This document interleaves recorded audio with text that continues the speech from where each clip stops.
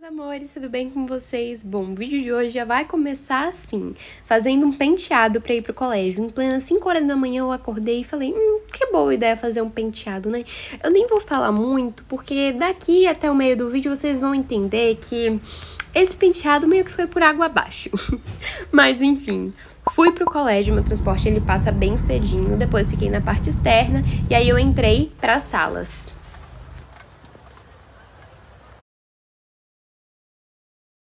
De volta. De volta. Eu acho que nesse momento nem preciso dizer nada para vocês, né? Porque esse vídeo ele tá bem autoexplicativo. Sendo sincero, eu ainda não sei porque que eu invento de acordar para fazer penteado.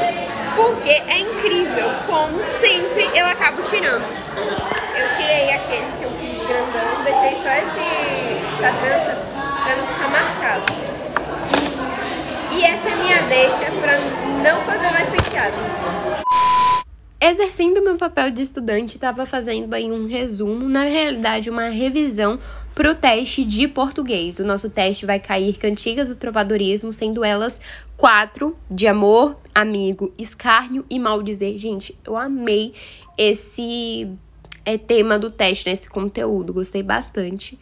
Mas enfim, é isso. Fiquei estudando. Exaltada. Então, rapaz meio que sofre com isso. Deixa o rapaz o quê, Eu não vou conseguir, gente, fazer isso. Por quê? Vai sim. Mas a gente vai estudar, vai batalha. Lembrando, a prova é daqui a 5 minutos. vai dar tempo. Seis horas e meia depois. Gente, pra uma talvez felicidade de alguns, a prova foi adiada pra amanhã. Eu tava preparada pra fazer hoje. Hã? Eu tava preparada pra fazer hoje. Ficou triste, não foi? Ficou triste, não foi? Explicando para vocês, mas nesse dia tivemos uma prova de relações ecológicas, estação 5. Nota, porque Eu um aposto. errou um e você é outro. Eu aposto com você que eu vou tirar maior nota. E tivemos teste agora de estação. É o quê?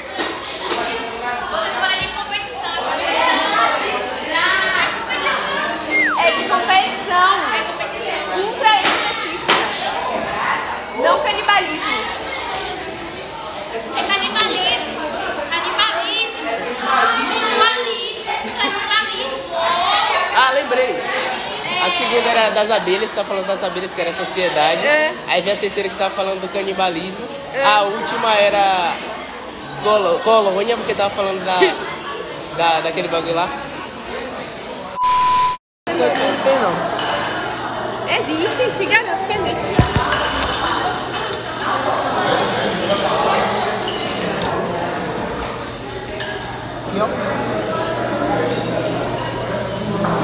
Depois de uma pausinha pro almoço e também descanso, a gente voltou com tudo. No turno da manhã a gente tem ao todo cinco aulas e no da tarde temos mais dois, totalizando sete horários. Para quem não sabe, eu tô no primeiro ano do ensino médio em tempo integral.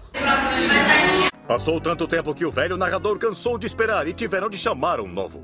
Mais um ensaio. O Pro já tá aqui na sala. E vamos ensaiar. E depois de tanto ensaio, ficamos aí no intervalo assistindo um pouquinho né, do, dos jogos escolares.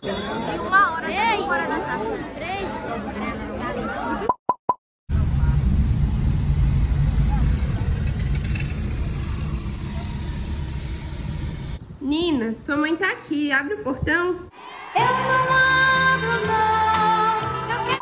Gente do céu, relevem essa cara aqui acabada, pelo amor de Jesus. Mas eu também tô mostrando minha rotina real como estudante. Quando a gente estuda, assim, a gente não consegue se manter 100% arrumado o tempo todo, né? Chega uma hora que, ó. Vai com Deus. Tirei minha maquiagem, eu fiz um desarrume-se comigo lá pro meu daily do TikTok, inclusive.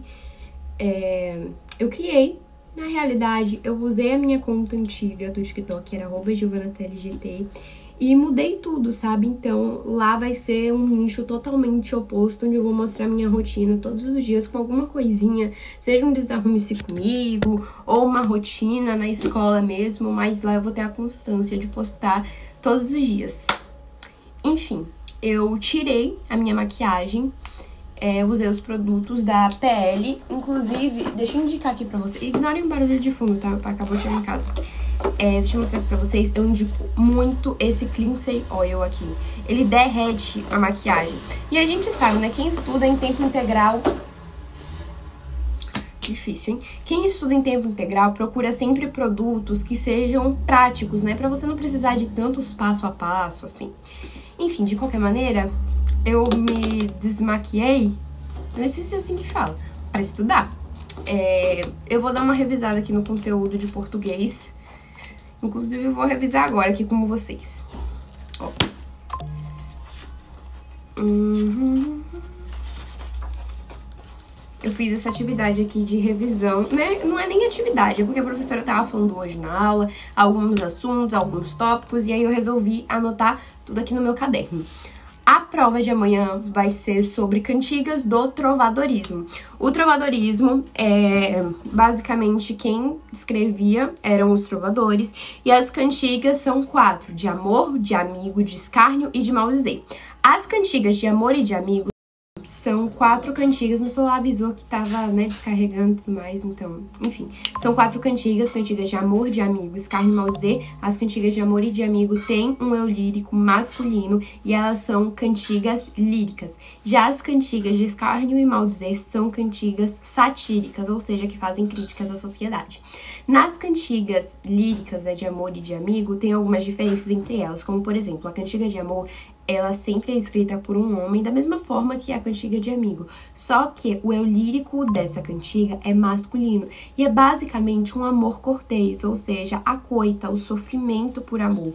Antigamente o senhor era a senhora de atualmente, né? Então, nas poesias, nos poemas, eles colocavam, né, senhor.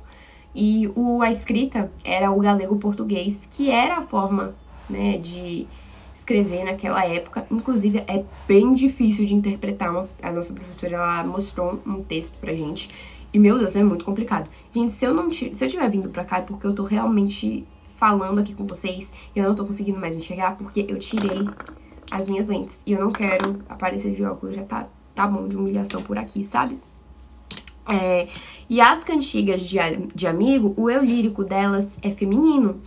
E o amigo não é amigo, sabe? É o namorado que foi pra guerra e tudo mais. Ela também é escrita por um homem e é isso. A escrita, galego-português, a musicalidade sempre presente. Agora vamos para as duas outras cantigas, a de Escarne e Maldizer. Elas não têm muito, assim, uau, coisa, bum, de diferença, sabe? Mas as cantigas de escárnio e maldizer basicamente faziam críticas à sociedade e às pessoas no geral. As cantigas de maldizer eram diretas, então não tinha todo aquele rodeio, não. Era uma crítica direta que você já conseguia interpretar. Já as cantigas de escárnio, elas eram cantigas indiretas, sabe? Então era aquela coisa que usava o duplo sentido da palavra e sabe? É como se você estivesse falando mal da pessoa, sem parecer que você tá falando mal da pessoa. E as de é, maldizer, eram você tá falando mal da pessoa na cara dela. Então, tem três escolas, entre aspas, da, do trovadorismo, que é o Cancioneiro do Vaticano, Cancioneiro da Ajuda e Cancioneiro da Biblioteca Nacional de Lisboa. E a ideologia era a teocêntrica, ou seja, Deus no centro. Bom, é, é, só isso, gente, que eu tô pra revisar hoje. Porque eu já fiz esse, essa revisão na sala. Aí, se eu não tivesse feito, eu ia ter que fazer agora. Mas ainda bem que eu já fiz. Eu vou ficar revisando da mesma forma do último study vlog, né, que eu mostrei pra vocês. Eu fiquei lá revisando, revisando, revisando, revisando, revisando, revisando. E é isso que eu vou fazer com português também. Vou ficar revisando, revisando, revisando, revisando, revisando. Só que meu celular já pediu, né, pra ir de comes e bebes, descarregar. Então eu vou colocar ele pra carregar aqui e é isso. Eternidade depois. Luta e dias de glória. Ultimamente estou só vendo os dias de luta, né? Mas enfim, é, naquele mesmo esquema, terminei de estudar, reviso amanhã de manhã mais um pouco. E no mais, gente, é isso. Vida de estudante não é fácil, né? E há de quem pensa que é.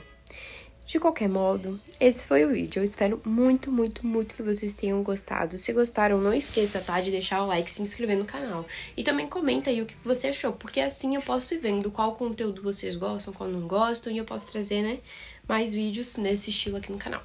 E é isso. Um beijo, meus amores. Amo vocês e até os próximos vídeos. Bye!